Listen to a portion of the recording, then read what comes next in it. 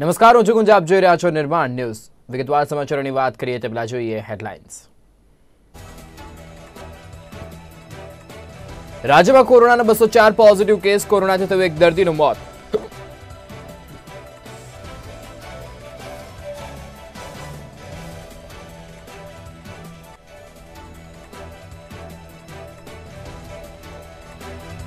અમદાવાદમાં property tax ઉપર સાહીઠ ટકા વ્યાજ માફ કરવાનો નિર્ણય આ સાથે જ ઘરોમાં એસી ટકા વ્યાજ માફ કરવાનો નિર્ણય.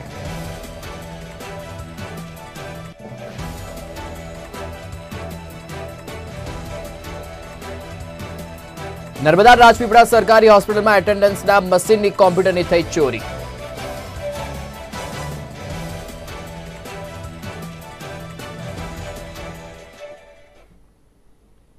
વિગતવાર સમાચારોમાં વાત કરીએ, રાજ્યમાં કોરોના વાયરસના કેસોની. તો રાજ્યમાં કોરોના વાયરસના કેસ દિવસેને દિવસે વધતા જોવા મળી રહ્યા છે.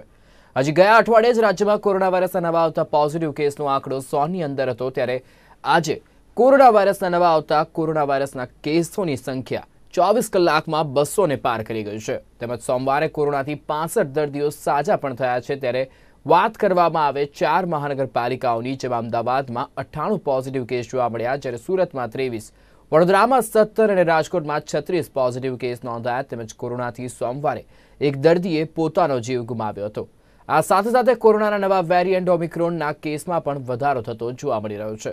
રાજ્યમાં સોમવારે ઓમિક્રોનના ચોવીસ પોઝિટિવ કેસ નોંધાયા તેમજ ઓમિક્રોનથી અત્યાર સુધીમાં સત્તર દર્દીઓ સ્વસ્થ પણ થઈ ગયા છે. તેમજ રાજ્યમાં ઓમિક્રોનના કુલ તોતેર પોઝિટિવ કેસ છે અને આ સાથે જ રાજ્યમાં છેલ્લા ચોવીસ કલાકમાં કોરોના વાયરસના બસો ને ચાર પોઝિટિવ કેસ જોવા મળ્યા છે.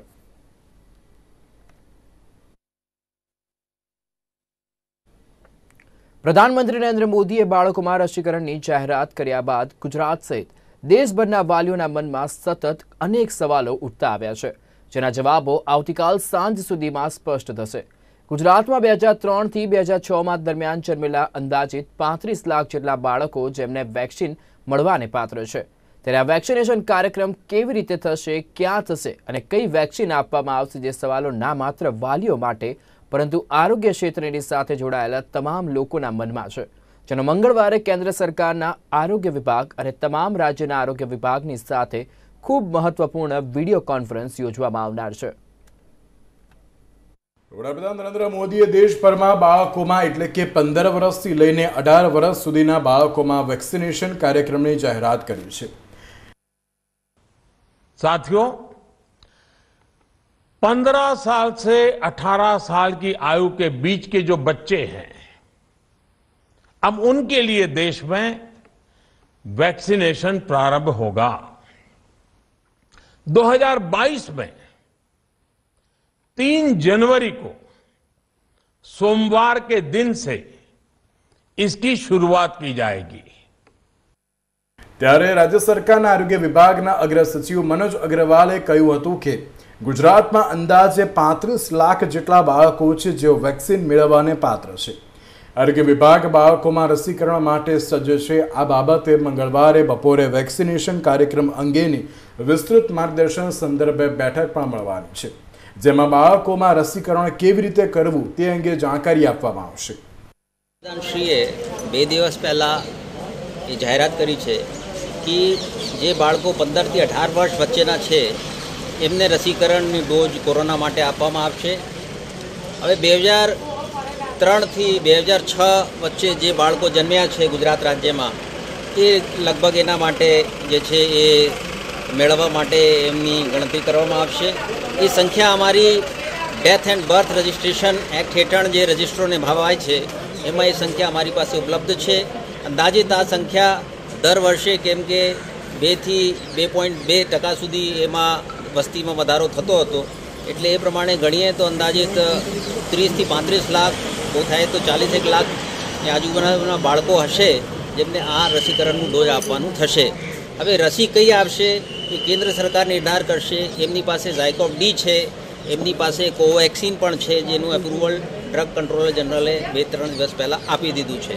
એટલે એમાં શાળામાં જઈને લગાડવું કે એમને કોરોનાના વેક્સિનેશન સેન્ટરમાં એ રસી આપવી અથવા હર ઘર દસ્તક અભિયાન હેઠળ પણ આ રસી જે છે એ આપી શકાય છે.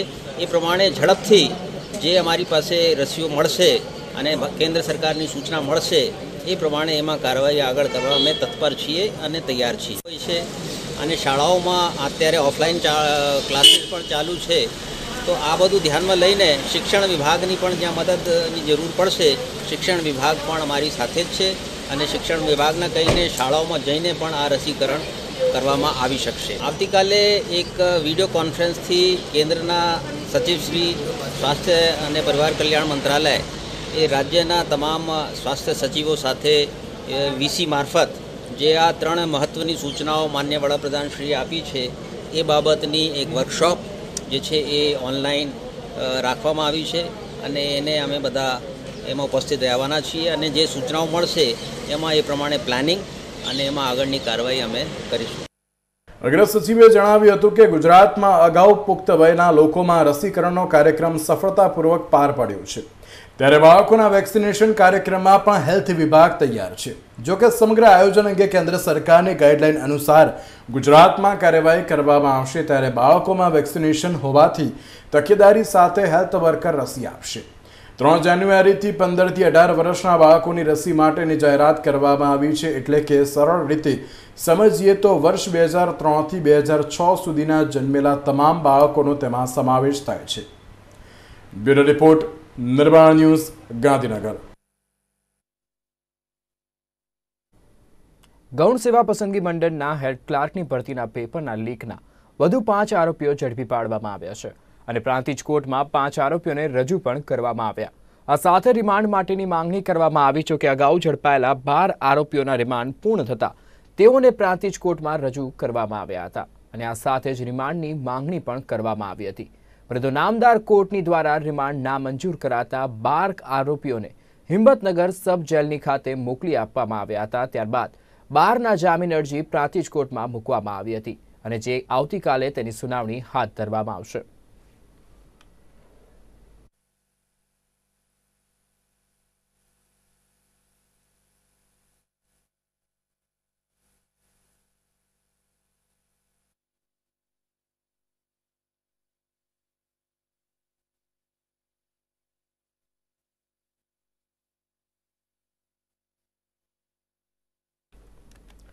સમાચારોમાં આગળ વાત કરીએ અમદાવાદની, તો અમદાવાદ વાસીઓ માટે વ્યાજ માફીની જાહેરાત અમદાવાદ મ્યુનિસિપલ કોર્પોરેશન દ્વારા કરવામાં આવી છે.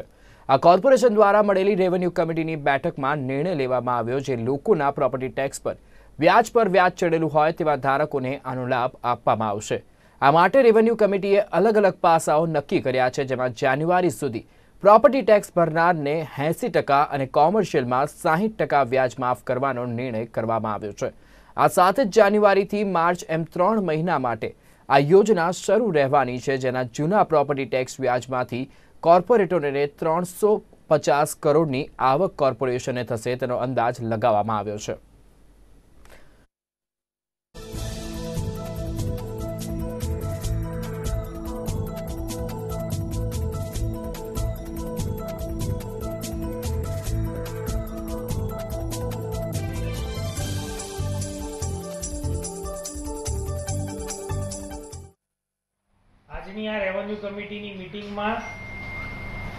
સૌથી વધુ રાહત આપતી, સૌથી વધુ લાંબા ગાળાની અને અર્લી બર્ડ ઇન્સેન્ટિવ આપતી વ્યાજ માફીની સ્કીમ રજૂ કરવામાં આવી છે. ત્યારબાદ આ સ્કીમ સ્ટેન્ડિંગ કમિટીમાં મૂકવામાં આવશે અને પહેલી જાન્યુઆરીને રોજથી આ સ્કીમ અમલમાં આવશે. ખાસ કરીને ચાલી ઝૂંપડાવાળા જે રહેઠાણની મિલકતો છે તેની પર ત્રણેય મહિના દરમિયાન સો ટકા વ્યાજ માફી આપવામાં આવશે. એ જ રીતે જૂની ફોર્મ્યુલાનો જે ટેક્સ બાકી છે, તેની ઉપર પણ વ્યાજ માફી સો ટકા આપવામાં આવશે.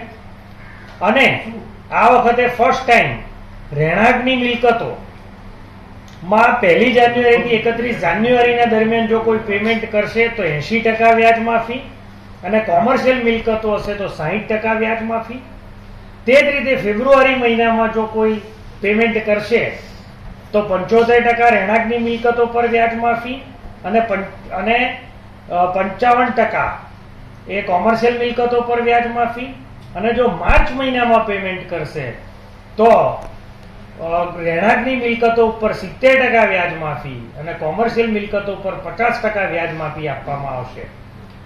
અધિકારીઓને પણ આ ફાઇલોની ખાસ કરીને એની અમલવારી કરે તેની તેવી એક સૂચના પણ આપવામાં આવી છે.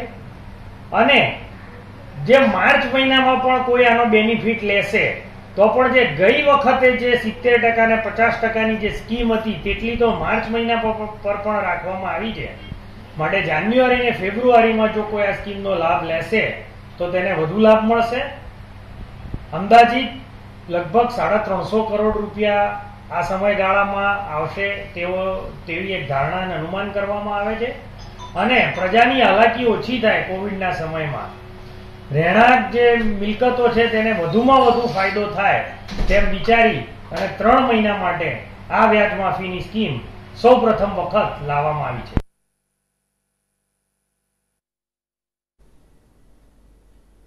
હૈદરાબાદ ખાતે એશિયન થાઈ બોક્સિંગ બે હજાર એકવીસની ટુર્નામેન્ટનું આયોજન કરવામાં આવ્યું હતું. આ ટુર્નામેન્ટમાં સમગ્ર એશિયામાંથી ખેલાડીઓએ ભાગ લીધો હતો, જેમાં અમદાવાદના ચાર ખેલાડીઓએ શ્રેષ્ઠ પ્રદર્શન કરી દેશને ચાર મેડલ અપાવ્યા છે. જેમાં અમદાવાદની એકમાત્ર દીકરી શ્રેયા છે, કે જે જેણે દેશને સિલ્વર મેડલ અપાવ્યું છે. તાજેતરમાં જ હૈદરાબાદ ખાતે યોજાયેલા એશિયન થાઈ બોક્સિંગમાં ભારત સહિત બાર દેશોના ખેલાડીઓએ ભાગ લીધો હતો. આ સ્પર્ધામાં અમદાવાદના શિવમ યાદવે અડતાલીસથી બાવન વેટ કેટેગરી અને શ્રેયા રાવલે છપ્પનથી સાહીઠ વેટ કેટેગરીમાં ભાગ લઈ દેશને સિલ્વર મેડલ અપાવ્યો હતો. જ્યારે ચૌહાણ યોગેન્દ્રસિંહે સાહીઠથી પાસઠ વેટ કેટેગરી અને પાઠશાલા યશે એંસીથી પંચ્યાસી વેટ કેટેગરીમાં ભાગ લઈને દેશને બ્રોન્ઝ મેડલ અપાવ્યો છે.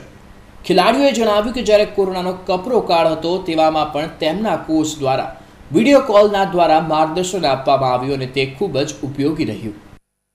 હૈદરાબાદ ખાતે થાઈ બોક્સિંગ કોમ્પિટિશનનું જે આયોજન કરવામાં આવ્યું હતું, જેની અંદર અમદાવાદના જે ચાર ખેલાડી છે, તેનું ખૂબ જ શ્રેષ્ઠ પ્રદર્શન રહ્યું હતું. આ ચારેય ખેલાડીઓ બ્રોન્ઝ અને સિલ્વર મેડલ છે, તે લાવ્યા છે. ત્યારે આપણે તેમની સાથે જ વાત કરવાનો પ્રયત્ન કરીશું, કારણ કે ન માત્ર તેમણે પોતાના માટે, પરંતુ આજે દેશ માટે જે છે સિલ્વર અને બ્રોન્ઝ મેડલ મેળવ્યો છે. ત્યારે સીધા તેમની સાથે વાત કરીશું. જી, આપનું નામ? મારું નામ ચૌહાણ યોગેન્દ્ર છે. હું ન્યૂ એલજે કોલેજમાં ભણું છું. હું છેલ્લા આઠ વર્ષથી રમું છું અને હું દસ નેશનલ રમેલો છું. દર વખતે નેશનલ રમવા જો તો મારું એક જ પ્રયત્ન હોય કે હું દેશને રિપ્રેઝેન્ટ કરું અને ભારત માટે મેડલ લાવું. ને આ વખતે નવેમ્બરમાં યોજાયેલી એશિયન ચેમ્પિયનશિપમાં હું મેડલ લાવ્યો દેશ માટે અને મને બહુ ગર્વ છે કે હું મારા દેશ માટે બ્રોન્ઝ મેડલ લાવ્યો. અને આમાં બાર કન્ટ્રીઓએ ભાગ લીધો હતો એમાં બધી સારી કન્ટ્રી આવી હતી. એમાં કોમ્પિટિશન બહુ ટફ હોય કેમ કે આ બહુ ઊંચા લેવલની ગેમ છે અને ટફ લેવલ થાય છે. એ પ્રમાણે હું મહેનત કરીને સલંગ છ મહિનાથી મહેનત કરીને આ વખતે હું બ્રોન્ઝ મેડલ લાવ્યો અને મને બહુ ગર્વ છે અને મારા કોચ બદ્રી સર ઉપર મને બહુ પ્રાઉડ ફીલ છે કેમ કે એમની મહેનત પ્રત્યે આ બધું હાસિલ થયું છે. ખાસ જ્યારે સ્પર્ધા યોજાઈ હતી તો તેની અંદર કંઈક એવું પણ આપની સાથે પ્રસંગ બન્યો છે જે ખૂબ આપના માટે ચેલેન્જિંગ રૂપ હોઈ શકે. હા આમાં કોમ્પિટિશન ટફ હતું. એના લીધે ઇન્જરીઓ બી બહુ પણ આવી છે અને સૌથી મને બહુ વધારે ગમતું એ પલ છે કે મેં જ્યારે ભારતનો ફ્લેગ હાથમાં લીધો અને ફોટો પડાવ્યો માટે હું બહુ આમ ખુશ માનું છું કે એ ફ્લેગ પકડીને ઇન્ટરનેશનલનું મેડલ પકડ્યું એટલે બહુ મોટી વાત છે મારા માટે અને એ પ્રત્યે હું બધાને આભાર છું. બિલકુલથી અન્ય એક યુવાન સાથે વાત કરવાનો વાત કરવાનો પ્રયત્ન કરીશું. આપનો કયો રેન્ક આવ્યો છે આપનું નામ શું છે અને આ ખાસ સ્પર્ધાનો અનુભવ કેવી રીતે રહ્યો અને એ સ્પર્ધા માટે આપની તૈયારીઓ કેવી રીતે મારું નામ યશ કિશોરભાઈ પડસાલા છે. મારો રેન્ક બ્રોન્ઝ મે થર્ડ નંબર આવ્યો છે બ્રોન્ઝ મેડલ છે. અને પહેલેથી કાંક અંદરથી જ, નાના હતા ત્યારથી જ એવું ડ્રીમ હતું કે કન્ટ્રી માટે કાંઈક કરવું છે. ફેમિલીને પ્રાઉડ થાય, સમાજને પ્રાઉડ થાય, પછી ખૂબ એટલે એટલે કન્ટ્રી માટે કંઈક કરવું જ હતું પહેલેથી. અને જે પણ છે મારા મમ્મી પપ્પા છે એ લોકોના આશીર્વાદ અને મારા જે બદ્રી બદ્રી સર છે એમની મહેનત. ખાસ આજે આપે કીધું, પરંતુ કોરોનાનો કાળ પણ વચ્ચે આવ્યો તો ત્યારે એ કેટલું ડિફિકલ્ટ રહ્યું હતું? કારણ કે પ્રેક્ટિસ પણ બંધ થઈ ગઈ હશે. તો ત્યારે શું ઘરે રહીને પ્રેક્ટિસ કે એ પ્રકારનું કોઈ આયોજન કર્યું હતું કે કેમ? શેડ્યુલ બનાવેલા હતા. વીડિયો કોન્ફરન્સ વીકમાં ચાર વાર ચાલુ હતા. એટલે વીડિયો વીડિયો કોલના માધ્યમથી અમને સર કોચિંગ દેતા હતા. વીડિયો કોલના માધ્યમથી કોચિંગ દેતા હતા. આપનો પણ સિલ્વર મેડલ કે બ્રોન્ઝ મેડલ આવ્યો છે આપનું પહેલાં નામ જણાવશો અને કયા પ્રકારની જે મહેનત છે તે આપે કરી હતી? ત્યાં કઈ ટીમ સામે આપની જે ફાઇટ હતી અને કેટલી ટફ રહી કે કયા પ્રકારનું આપનું પ્રદર્શન રહ્યું? મારું નામ સીએમ યાદવ છે અને જ્યારે મારું આ સપનું હતું કે હું ઇન્ડિયા માટે રમું અને જ્યારે વચ્ચે કોવિડ આવી ગયું તો એ એ લીધે અમારી પ્રેક્ટિસ ઓછી થઈ. પછી જ્યારે અમારી ડેટ આવી ત્યારે અમે લોકોએ છ મહિના પ્રેક્ટિસ કરી અને સિલ્વર મેડલ લઈને આવ્યો ઇન્ડિયા માટે. ખાસ આપના જે કોચ છે તેના દ્વારા કયા પ્રકારની આપને જે તાલીમ આપવામાં આવી અને તેના જ કારણે આપનું શ્રેષ્ઠ પ્રદર્શન રહ્યું? એમને અમારા માટે બહુ મહેનત કરી છે પાછળ. કેમ કે દિન રાત મતલબ સવારે ચાર કલાક પછી સામે ચાર કલાક પ્રેક્ટિસ કરે એમ લોકોને. અન્ય યુવાનો જે હોય છે તે ક્રિકેટ પાછળ ગાંડા થતા હોય છે કારણ કે ક્રિકેટ એવી ગેમ છે કે જે તમામ લોકોનું તેના ઉપર નજર હોય છે. પરંતુ આપે કેમ આ ગેમ પસંદ કરી? કેમ કે સેલ્ફ ડિફેન્સ માટે બહુ ઉપયોગો છે. ચોક્કસથી મહિલા છે તેમની સાથે પણ વાત કરવાનો પ્રયત્ન કરીશું. આપનું નામ જણાવશો અને આપને કયો મેડલ આવ્યો છે અને તેનો અનુભવ કેવો રહ્યો? મારું નામ રાહુલ શ્રેયા છે. હું ટ્વેલ્થ સ્ટાન્ડર્ડમાં છું હીરામણીમાં. મને પહેલાંથી હતું કે હું રમું કશુંક આઈ મીન સેલ્ફ ડિફેન્સ માટે અને એ બી ઇન્ડિયા માટે. તો ઇન્ડિયાનો ઇન્ડિયા માટે મેડલ લાવું, મારા મમ્મી પપ્પાનું નામ રોશન કરું, મારા કોચ બદ્રી સરનું નામ રોશન કરું. અને એમણે બી અમારા પાછળ ખૂબ જ મહેનત કરી છે અને મારા પેરેન્ટ્સે બી બહુ મહેનત કરી છે પ્રેક્ટિસ કરાવવામાં. અને શું કહેવાય કે આમ એટલી ખુશી થઈ હતી જ્યારે મેડલ મળ્યો હતો કે અમે કશું કર્યું અમારા ફેમિલી માટે પેરેન્ટ્સ માટે કોચિસ માટે, ખુદ માટે. I am proud of myself okay ખાસ જ્યારે આ રમત યોજાઈ હતી સ્પર્ધા યોજાઈ હતી ત્યારે વિદેશના પણ ખેલાડીઓ આપની સામે રમ્યા હશે. તો એ સમય દરમિયાન કોઈ આપને ઇન્જરી આવી હોય કે કોઈ યાદગાર પ્રસંગ હોય જે આપ કહેવા માગતા હો? હા લાસ્ટ ફાઇનલ ફાઇટમાં થોડું શું ઇન્જરી થઈ હતી હેડમાં એના લીધે મને બહુ જ હેડેક થયું હતું એ દિવસે.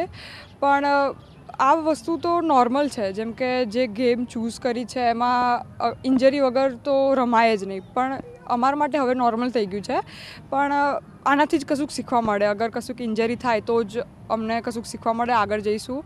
અને આવી રીતે ઇન્ડિયાનું નામ રોશન કરીશું પેરેન્ટ્સ અને કોચિસનું આપ એક દીકરી છો, દીકરી તરીકે કેટલીક વાર એવું પણ થતું હોય છે કે પેરેન્ટ્સ ના પાડતા હોય છે. ત્યારે અન્ય કેટલીક એવી દીકરીઓ હશે કે જે આગળ આવવા માગતી છે. પરંતુ તેમને ક્યાંક ને ક્યાંક પેરેન્ટ્સ અથવા તો સમાજના કારણે તેઓ પીછેહટ કરતી હોય છે. આવી દીકરીઓને આપ શું કહેશો? બધું પેરેન્ટ્સ પર જ છે એકચ્યુઅલી કે પેરેન્ટ્સને સમજવું જોઈએ કે છોકરી છે તો એમને જરૂરી નથી કે ઘરમાં જ બેસાડી રાખીને કામ કરવાનું મેરેજ લાઈફ હેન્ડલ કરવાની ને એવું જ. એ એમના પગ ઉપર ઊભી હોવી જોઈએ, એમના માટે કશું કરવું જોઈએ, એમના ફેમિલી માટે પેરેન્ટ્સ માટે ખાસ. એટલે જરૂરી નથી કે ભણી ગણીને જે લોકો તમારું નામ રોશન કરી શકે. તમે, તમને જે ફિલ્ડ ગમતી હોય તમે ચૂઝ કરીને આગળ વધી જ શકો છો. અને અગર તમારું કોન્ફિડન્સ લેવલ હંડ્રેડ પર્સન્ટ હશે તો તમને કોઈ નહીં રોકી શકે એ વસ્તુમાં આગળ જવા માટે. બિલકુલથી તો આ જે તમામ ખેલાડી છે તેની સાથે વાત કરવાનો પ્રયત્ન કર્યો હતો અને તેમના દ્વારા જે જણાવવામાં આવ્યું તે મુજબ કે જ્યારે કોરોનાનો કાળ હતો અને તેની અંદર ક્યાંક પ્રેક્ટિસ છૂટી હતી, પરંતુ અમારા કોચે સતત આ સ્પર્ધાને લઈને સતત માર્ગદર્શન પૂરું પાડ્યું. ઓનલાઈન અને ઓફલાઈન બંને પ્લેટફોર્મ દ્વારા જે માર્ગદર્શન પૂરું પાડ્યું અને તેના જ કારણે આજે દેશ માટે, ન માત્ર તેમના માટે પરંતુ દેશ માટે આજે તેઓ મેડલ લાવ્યા છે અને દેશને પણ નામ રોશન કર્યું છે. આ અંગે તેમના કોચ બદ્રીનાથ પાંડે જણાવે છે કે છેલ્લા છ વર્ષથી પણ વધારે સમયથી આ ચારેય ખેલાડીઓ ખૂબ જ મહેનત કરી રહ્યા છે, જેના કારણે આ ટુર્નામેન્ટમાં દેશને મેડલ તેઓ અપાવી શક્યા છે. કોરોનાના કારણે થોડો સમય આ ખેલાડીઓની પ્રેક્ટિસ બંધ રહી, પરંતુ ત્યારબાદ સરકાર દ્વારા જે નવી ગાઈડલાઈન મળી તે મુજબ પ્રેક્ટિસ શરૂ કરવામાં આવી હતી અને ભવિષ્યમાં આ ચારેય ખેલાડી શ્રેષ્ઠ પ્રદર્શન કરીને ગોલ્ડ મેડલ મેળવશે તેવો તેઓને આશા છે. પાર્ટિસિપેટ કર્યા હતા એ ગુજરાત ખાતે ઇન્ડિયા ટીમમાંથી અને પહેલી વાર ફર્સ્ટ જ એવો પ્લેયર છે, જે લોકો એશિયન ચેમ્પિયનશિપમાં અને આંતરરાષ્ટ્રીય કક્ષાએ આમાં ભાગ લેવા લીધું છે અને આ સારું એવું અચીવમેન્ટ લઈને આવ્યા છે. અને આમ તો કહીએ તો આપણે ગોલ્ડ આવવાની શક્યતા હોઈ શકત પણ એ એટલા માટે ના આવી શક્યો કેમ કે કોવિડના લીધે આ લોકોનું પ્રેક્ટિસ ઘણી બધી બ્રેક થઈ હતી. સરકારશ્રીના નિયમ પ્રમાણે કોવિડ પછી જે અમને નવી ગાઈડલાઈન મળી, એના પછી અમે પ્રેક્ટિસ તેમને ચલાવવાનું શરૂ કર્યું હતું. અને બહુ સારો શ્રેષ્ઠ પ્રદર્શન છે. એમાં યશ પટશાલા અને ચૌહાણ યોગેન્દ્ર એમનું બ્રોન્ઝ મેડલ છે. શ્રેયા રાવલ એનું સિલ્વર મેડલ છે. અને શિવમ યાદવ એનું પણ સિલ્વર મેડલ છે. પ્રદર્શન ખૂબ જ સારો રહ્યો અને અગત્યની વાત એવું છે કે આપની જાણે ખાતર કે આ પહેલી વખત જ પાર્ટિસિપેટ કર્યા હતા. એમની જોડે કોઈ આંતરરાષ્ટ્રીય કક્ષા આમ છેલ્લા ચાર વર્ષે એ લોકોના નેશનલમાં મેડલ્સ છે, જેના વેઝ ઉપર એમનું સિલેક્શન થયું હતું. પણ આંતરરાષ્ટ્રીય કક્ષા પાર્ટિસિપેટ કરવા માટે એમ, એ લોકો ફર્સ્ટ પર્સન પહેલો અનુભવ હતો. એના પહેલાં કોઈ અનુભવ નહોતો. એટલે એક શરૂઆતના જે ધોરણ હતા, એ થોડાક અમારા માટે કઠિન સમય હતા. પણ જેમ જેમ છોકરાઓનો અનુભવ થતા ગયા પ્લેયર્સના અનુભવ થતા ગયા, તેમ તેમ એને એક્સપિરિયન્સ થતા ગયા. અને સારો અનુભવ લઈને આવ્યા છે. ભવિષ્યમાં આંતરરાષ્ટ્રીય કક્ષા વર્લ્ડ ચેમ્પિયનશિપ જે થશે, એમાં સારું પ્રદર્શન થશે એ પણ હું ખાતરી આપું છું. શ્રેયા રહેવાલ, રાવલ અમદાવાદની પ્રથમ મહિલા થાઈ બોક્સિંગ આંતરરાષ્ટ્રીય પ્લેયર તરીકે છે. અને એનું પ્રદર્શન ખૂબ જ સારો રહ્યો. અને એનું પ્રયત્નમાં જે છે, એનું પોતાનું પણ સેલ્ફ પ્રેક્ટિસ બી છે. ક્લાસની બી પ્રેક્ટિસ છે. એના માતા પિતાનું વાલીનું ખૂબ જ સારો સાથ સહકાર છે. જેનાથી એ આગળ વધી છે. એમના જે ટીચર્સ છે, એમ કરી જેને માર્ગદર્શન કર્યું, શ્રદ્ધાબેન પટેલે. એમણે બી સારું એનું માર્ગદર્શન આપે છે. એ પોતે સેલ્ફ મોટિવેટેડ છે. અને સારી અનુભવી છે. એક અમારી ટીમ માટે સ્પેશિયલિસ્ટ રહેવા માટે અનુભવની એક ખામી હતી જે થઈ ગયો છે. આવનાર ભવિષ્યમાં ખૂબ જ સારું પ્રદર્શન છે. ફરવરીમાં સતારા મહારાષ્ટ્ર ખાતે ફેડરેશન કપ થઈ રહ્યો છે. એમાં આ ચારે ચારો પ્લેયર પ્રોફેશનલ લેવલની પ્રો નાઇટ સ્પર્ધામાં ભાગ લેશે અને પ્રોફેશનલ લેવલનો પણ અનુભવ લેશે અને એ અનુભવ આગળ જે વર્લ્ડ ચેમ્પિયન્સ થવાની છે. એની અંદર સારી રીતે કામ આવશે અને સારું પ્રદર્શન રહેશે. મે બી આપણે હોપ કરીએ કે નેક્સ્ટ ટાઈમ શ્રેયાનો ગોલ્ડ પણ આવશે. હૈદરાબાદ ખાતે યોજાયેલા એશિયન થાઈ બોક્સિંગ સ્પર્ધામાં અમદાવાદમાંથી એકમાત્ર દીકરીએ થાઈ બોક્સિંગ જેવી સ્પર્ધામાં ભાગ લઈ દેશને સિલ્વર મેડલ અપાવ્યો હતો. ત્યારે તેના પરિવારમાં પણ ખુશીનો માહોલ જોવા મળ્યો. ત્યારે શ્રેયાની માતા દીપમાલા રાવલે જણાવ્યું કે અમારી દીકરી આવી રીતે રમવા બહાર જતી ત્યારે લોકો કહેતા કે આવી રીતે બધા છોકરાઓની સાથે એકલી દીકરીને ના મોકલવી જોઈએ. પરંતુ અમે બધાની વાતોને સાંભળ્યા વગર જ અમારી દીકરીને રમવા માટે સતત પ્રેરણા આપતા અને તેનું જ આજે પરિણામ મળ્યું છે. ખુશી તો કયા પેરેન્ટ્સને ના હોય કે જ્યારે એમની છોકરી એ મા બાપનું નામ રોશન કરતી હોય અને આવા, આવી ગેમ, એશિયન ગેમ કે જેમાં ઘણા બધા દેશોએ પાર્ટિસિપેટ કર્યું હોય અને એમાં આજે સિલ્વર મેડલ લઈને આવું, એટલે પેરેન્ટ્સ તરીકે અમને તો એનો ખૂબ જ આનંદ છે. પણ એમાં ઘણી વખત એવું બી બનેલું છે કે જ્યારે અમે અમારા શ્રેયાને રમવા માટે મોકલતા, ત્યારે ઘણાના એવા બી ક્વેશ્ચન આવેલા અમારી સામે કે છોકરી છે, તમે એને ભણાવવામાં અને ઘરના કામમાં અને એ બધામાં તમે એને શીખવાડો. આવી રીતે તમે એના છોકરાઓ જોડે ને આવી રીતે બહાર આટલા બધા દિવસોમાં, કારણ કે ઘણી વખત એ ટ્રેનિંગ માટે એને જવાનું હોય, તો વીસ વીસ દિવસ માટે બી એ ઘરની બહાર રહેવું પડતું એને. ત્યારે ઘણા એવા ક્વેશ્ચનો બધા પૂછતા બી ખરા, પણ એના ફાધરનો અને અમાર બંનેનું એક જ એવું હતું કે આપણે એક છોકરી તરીકે આપણે એને આગળ મોકલવી છે, આપણે એને રમાડવી છે તો આ બધા ક્વેશ્ચનો સામે અમે ખાસ ધ્યાન આપ્યું જ નહોતું. અને એના ફાધરનો બહુ જ સપોર્ટ છે એને. અને એને બી એના ફાધર પ્રત્યે બહુ જ હતું. મને આમ ઘણી વખત આમ થતું કે આ બધા જે કહેતા હોય છે, તો પણ એના ફાધરનો મને એવું હતું કે આપણે કોઈનું નથી વિચારવું. આપણે આપણે છોકરી છે, એને આપણે મોકલવી જ છે, તો આપણે બસ એના ઉપર જ કોન્સેપ્ટ કરીશું એમ. ત્યારે હવે રમતગમતના ક્ષેત્રમાં આંતરરાષ્ટ્રીય લેવલે ગુજરાત પણ ડંકો વગાડી રહ્યું છે. જે રીતે અમદાવાદના ચાર ખેલાડીઓએ શ્રેષ્ઠ પ્રદર્શન કર્યું અને તેમાં પણ. અમદાવાદની એકમાત્ર દીકરી શ્રેયાએ એશિયન થાઈ બોક્સિંગમાં સિદ્ધિ હાંસલ કરીને ગુજરાતની સાથે ભારતનું પણ ગૌરવ વધાર્યું છે અને દેશની અન્ય દીકરીઓ માટે પણ પ્રેરણારૂપ બની છે. કેમેરામેન કલ્પેશ રાણા સાથે રિપોર્ટર કમલ પરમાર, અમદાવાદ. પાટણ જિલ્લામાં ખાતરની અછત સર્જાઈ હોય તેવા દ્રશ્યો જોવા મળ્યા હતા. રાસાયણિક ખાતરના ડેપો પર ખેડૂતો ખાતર મેળવવા વહેલી સવારથી જ પહોંચી જતા હોય છે. જોકે કલાકો સુધી લાઇનોમાં ઊભા રહેવા છતાં પણ પૂરતું ખાતર મળતું નથી.